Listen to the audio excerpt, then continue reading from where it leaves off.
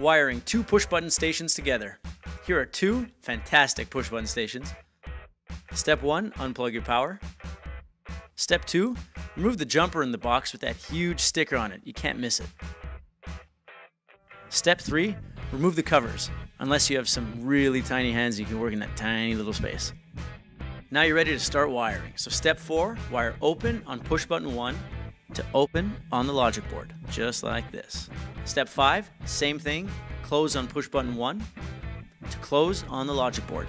And step 6, you got it, stop from push button 1 to stop on the board. There we go. Step 7, here's where it changes a little. You wire common from push button station 1 to stop on push button station 2. Now you can do this through a junction box or in the operator itself. Back to basics, step 8, you're to wire open from push button 2 to open on the logic board. For step 9, close on push button 2 to close on the board. And now for step 10, we're going to wire common on push button 2 to common on the board. There you go. Step 11, plug in your power. Watch the Christmas tree lights go up and down. And keep an eye out for the stop PB light.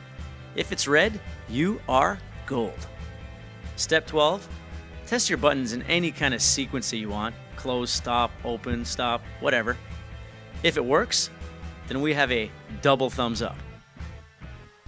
And if you want to skip all of those steps, ask about our brand new wireless push button station. Thanks for watching.